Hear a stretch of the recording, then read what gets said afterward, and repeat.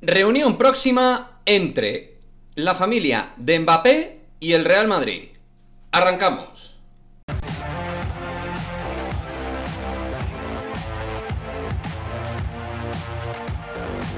¿Qué pasa chicos? Muy buenas, bienvenidos a Madridismo al día. Pues bien, vamos con actualización de datos última hora respecto al futuro de Kylian Mbappé, porque tal y como comentan desde RMC Sport, es decir, desde Radio Monte Carlo, se prevé una reunión entre el entorno de Kylian Mbappé, es decir, entre la familia de Mbappé y el Real Madrid. Esta reunión tendría como pretexto principal acordar los derechos de imagen, que si recordáis, semanas atrás ha sido el gran tema, digamos, de cierre en toda esta cuestión de Kylian Mbappé. Tanto Real Madrid como Paris Saint-Germain parecen optimistas, aunque, obviamente, si el futbolista a estas alturas no ha renovado, tiene más sentido que sea optimista el Real Madrid que el PSG, o al menos así lo veo yo. Pero parece ser que el motivo de la reunión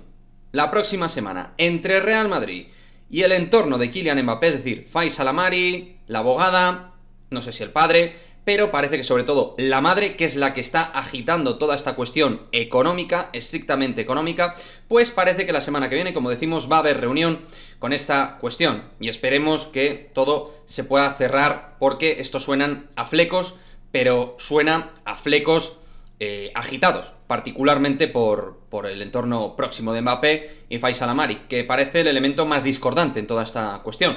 porque parece que el futbolista lo tenía todo absolutamente claro, que él deportivamente quiere jugar en el Real Madrid, que quiere un nuevo impulso en su carrera deportiva, como digo, a estas alturas, si no ha renovado es por algo, pero este asunto de los derechos de imagen está revolviendo todo. Ahora mismo Faisal Amari está en Doha, se ha hablado también de una posible reunión entre Faisal Amari con em,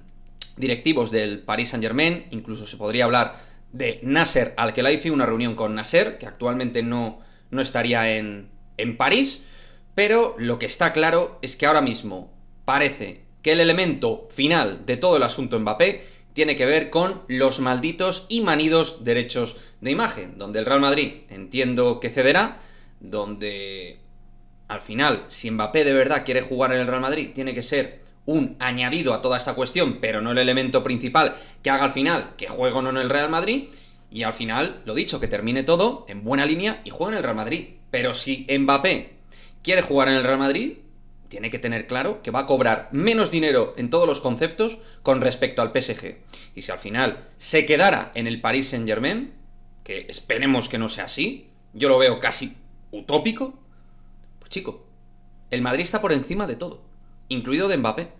Y si Mbappé no juega en el Real Madrid, está claro que reporta por encima toda la cuestión a título económico con respecto al proyecto, con respecto a lo deportivo, con la marca Real Madrid y con lo que era su sueño desde pequeñito.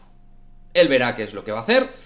Esperemos, como digo, que termine jugando en el Real Madrid, pero también entiendo que a la gente todo esto se le está haciendo ya un poquito bola y el entorno, desde luego,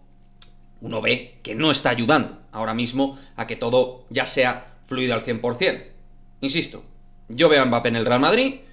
Hay muchísimos más motivos para ser optimista que no serlo, para no serlo, pero como decimos, este es el fleco final y la cuestión final para que Kylian Mbappé sea nuevo jugador del Real Madrid.